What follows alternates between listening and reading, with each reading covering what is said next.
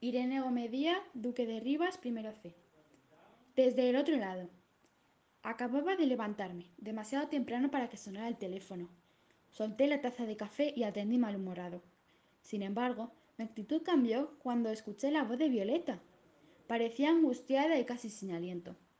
Me contó que su padre, el tío Luis, estaba gravemente enfermo y me suplicaba que fuese.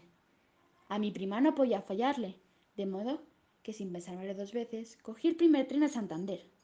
Toda la familia se encontraba reunida en el hospital, pero hacía unos minutos que mi querido tío Luis había fallecido. Aunque sé que había dejado de sufrir, yo no pude contener las lágrimas. El ambiente en el funeral era triste y lúgubre. Mi tía y mis primas sollozaban sin parar. Yo le iba a echar mucho de menos. Intentando disimular mis sentimientos, decidí irme a algún lugar apartado para desahogarme. No había nadie a mi alrededor, pero sin embargo notaba la presencia de algo extraño, tenebroso.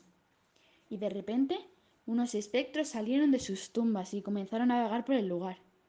Pensé que mi tío estaría entre ellos, y al cabo de un rato pude sorprenderle mirando con compasión a su melancólica familia. Al llamarle, se llevó un sobresalto, que me indicó que tan solo yo podía verle.